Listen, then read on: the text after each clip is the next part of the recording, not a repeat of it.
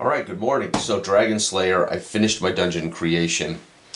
Uh, so as you can see, I took the rooms and I placed all the rooms and then I drew passages to all the rooms. Then I blacked out all the space so I would be able to see clearly the passages. Uh, of course, I numbered the rooms based on how I rolled the rooms uh, in order, of course. So, uh, as you had seen in the last video when I was first setting this, uh, in order, but I placed the rooms around kind of where they made sense to me, connected the dots.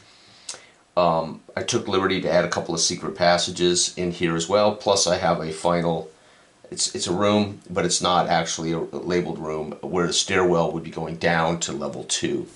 This is where they could descend if I make a, a second, right? Okay, then uh, I went through and determined uh, the rooms. So I'll give you, I'll walk you through this dungeon. So the entrance door is wooden and locked. Uh, that's going to be at the top of the stairs going down into the entrance. They're going to have to, um, of course, pick that lock. Or because it is a wooden uh, door, there are rules for breaching a wooden door, but you got to have tools generally. So I, I, wouldn't, I would allow them to hack a door open if they, a wooden door open if they needed to. Um, in the center of this room, the statue of a half woman, half goat stands eight feet tall. This is this evil goddess uh, statue. I rolled this up, evil goddess statue, and I made it of the green maiden faun.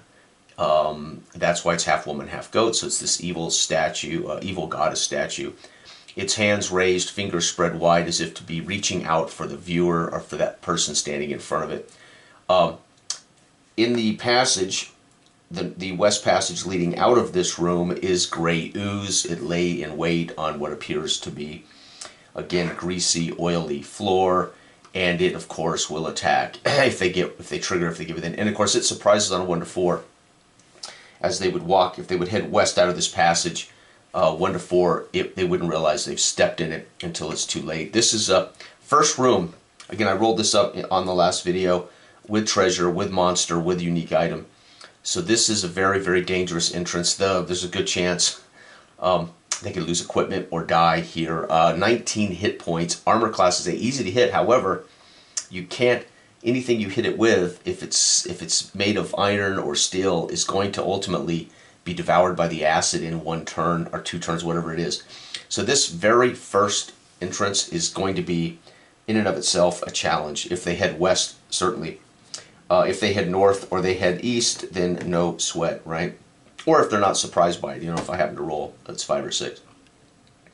Gray ooze. Uh, there is a moonstone, the treasure in here is a moonstone gem.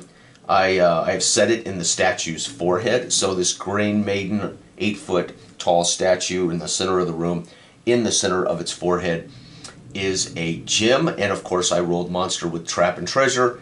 It is trapped uh, that trap is a missile, and again, these are all rolled up, right? This is all determined randomly.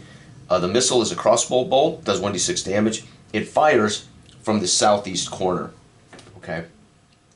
So I've placed a crossbow basically hidden in the wall that would fire a bolt, you know, at anyone who would reach up there to grab that gem. It would be it would be angled to fire right into the back of anybody standing up to pull that gem out of the forehead. And that's room, that's the entrance. So it's going to start in a pretty pretty fantastic way. It's worth 200 gold is this Moonstone Gem. Room 2, which is actually here, right? Again, they'll probably discover or try room 11 or head down the hall. They could get to room 2. They head down the hall and boom. Right, but room 2 is here, so it's not in order, right? If they head over here, then it would be the last room on my list. But room 2 is here. It's locked, it's trapped, it's a wood door. So again, if they can't pick the lock, I would allow them to hack the door in. But of course, that makes noise, and they're not going to be able to surprise anything that would be on the other side on that. Or if there's a wandering monster roll in here, they wouldn't be able to surprise anything with that kind of noise. This room is empty. There is a secret passage hidden on the southwest wall. Uh, so right here, matter of fact, I'm sorry, they can't go up here and go uh, right because it's a secret. Well, they could, and then they, if they inspected that wall, they could find the secret passage. The only other way to get to two would be to go east out of this room, past room 11, up and around the corner. Then they would come to this locked wooden door. In this room is nothing, uh, uh, except there is a secret passage. There is a magical glyph that's warding the door. Uh, uh, excuse me, the secret passage. So if they discover the secret passage, they could trip a, a trap, a which is a glyph of warding, which is basically going to kill any of them. It's a it's a 16 damage. They can save for half of that. So, and by the way, it's not a 2d8 roll. It's 16 damage. So uh, if they save uh, versus the warding, they would take eight points of damage. So uh, it's very very dangerous. However, because it's a secret door, um, but here's the thing: they could find the secret door on this side, which would be, or they could find the secret door on the other side. So they could potentially discover the secret door on either side and suffer the the trap. So again, already the first two rooms prove that this may be a short dungeon crawl. All right, room three. Again, this is all randomly rolled up, and then I try to make sense, and I will, uh, I will of course imbibe the atmosphere and the theme as they travel through and they inspect the rooms. Uh, the third room, which is way over here, again, they could come up, around, down, around, and find this door here, right? Or they could go up and around and find this door here. Door, it's wood, it's also locked, right? As you remember in the last video, I rolled up a lot of locked doors. In the far northwest corner is a chest with a gilded painted faun figure on its top. So imagine in the far corner here lay a treasure chest and on its top lid is this painted gilded figure of the same statue they would meet in the entrance of this evil goddess faun. Half goat, half woman, right? Uh, the lid is trapped, right? Again, this is another one I rolled. I rolled treasure with trap. When it's open, spears uh, doing 1d6 damage will jut up from the floor. Uh, a dex check will half that damage. The chest contains 400 gold and copper coins. So I think that would be four. That would be uh, 4,000 copper coins.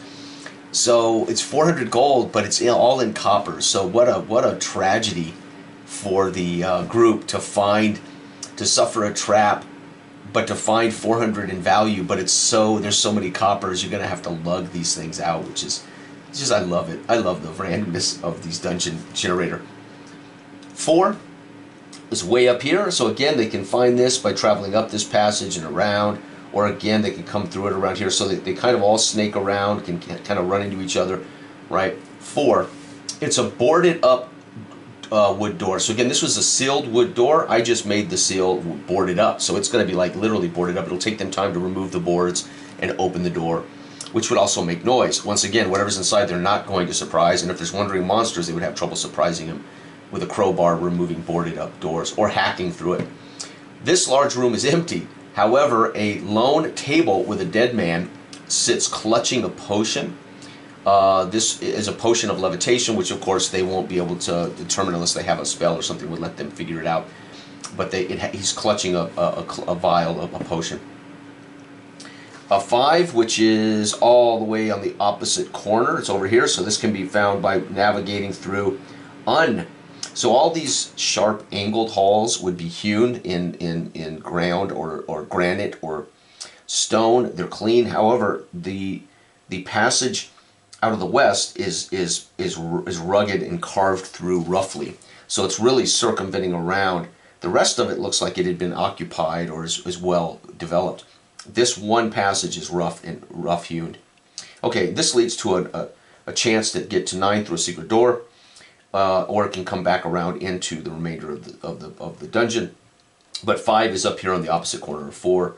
This door is boarded up as well. It's wooden. So again, they would have to pry this loose, chop it down, this chamber is carpeted uh, and tapestry hangs on the north wall of the faun. So again, it'll be a tapestry of this evil goddess faun hanging on the north wall. Um, uh, where am I at here? Uh, and lurking in here is a shadow uh, in waiting. It surprises on a 1 to 5, uh, and it's very dangerous. Uh, actually, only 5 hit points, so easy to kill. However, they can't harm it unless they have silver or magic. Uh, magic. So they would be in a battle with something easy to hit, but they can't actually harm. Not good. It only does 1 by 4 hit points, but it sucks. Every time it touches you, it sucks 1 point of strength, and that is accumulative. So if you're hit 3 or 4 times, you're going to lose up to 3 or 4 strength. Again, XP is also written here, right? And I usually put the page number so I can also go back and reference it, make sure I get everything right. Right, there you go. Also, lying on the floor below the tapestry sits a decorative amphora which is valued at 300 gold. So there's the treasure that's in this room. would sit on the floor beneath this tapestry hanging. Okay, and then again, there's a shadow in this room that will surprise. Very, very dangerous, as all old school dungeon crawling was, right? Okay. I didn't modify any of this based on the number of of players. So we just play. We see what happens, right? Play to find out. Six is way over here. So again, five's here, six is back over here. Remember, I rolled a couple of these odd-shaped rooms, these kind of circular rooms. So I've got one here at nine, two, and six. Two, again, has nothing in it, but it's got that warded trap, which is incredibly dangerous. Well, six is here. A bronze sealed door, right, means you can you need a one. You can only get a one to open it. There are ways to hack it open like a brick wall. So again, there are rules for that if you have the proper tools, right? Unfortunately, on the other side of that, uh, we'll definitely be waiting for them if they have to hack this door open. A giant poisonous frog. Page 158. Also, uh, uh, here will be a corpse that lay in the room, and uh, the only thing of value on that corpse will be a jade cloak clasp. Around the corpse's neck will be an old ratty cloak, but it has a beautiful jade clasp worth 200 gold. So again, we're collecting treasure if they can survive. All right, number seven. Seven is over here. Uh, seven is up here at the very top, the north. So you can almost go right through here and right to seven. Seven is a wood door. It's locked. A fresco of a ritual sacrifice adorns the west wall. So this entire west wall, right, will be this fresco of a, of a ritual sacrifice. Uh, and there is uh, literally nothing else of value in this room. So I'll describe what it might be. Like it was a, uh, might be like a uh, a dais at the end of this where it was like a like a church. This would be like a temple room maybe, and uh, a sacrifice room with a fresco of the sacrifice along this wall. There might be a dais where they would have sacrificed somebody. So I'll populate it live with my vision, uh, my imagination of what is in this room that complements it. But I wrote down the most important pieces. Eight, which we find down here. Again, this can this is going to be you can come up and around here and find that door. You can go all the way up and around and down and find this door. So again, a lot of it is almost a maze. Everything though can be almost found from every direction. It's just how you go about it. Eight here is a wooden door again. This one is just closed, which means they're going to have to open this door. It might be swollen. They're going to have to pry it open or push it open.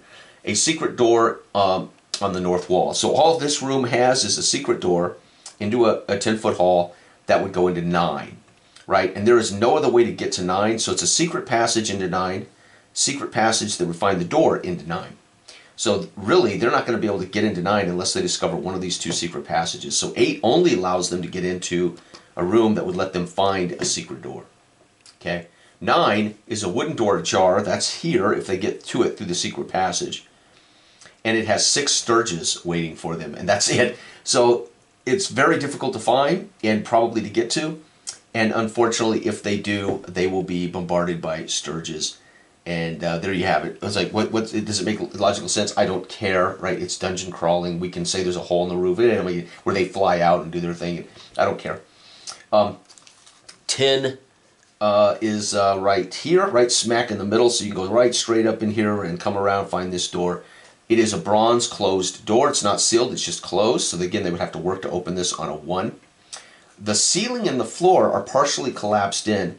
For every turn that they investigate this room, there's a 1 in 2 chance that there's going to be further collapse. Either they'll fall through to the second floor or, or the ceiling will collapse in on them, doing 2 die 6 damage. So 10 here, very dangerous. And again, I'll, I'll decide what's in here and what it looks like and if they want to investigate, et cetera, et cetera, for every turn they're in here, right? So I wouldn't just read this to them, or you know, I mean, obviously, I will, I will, I will have a theme of this. Uh, again, because of the statue, and because I made it my, or actually, I rolled the evil goddess on the statue. I made it this green maiden of lore. So most of the theme for this is going to be like this had been uh, a lair of a cult that followed the Green Maiden or something, right? So it's just a theme. It's an atmosphere. Last but not least, right?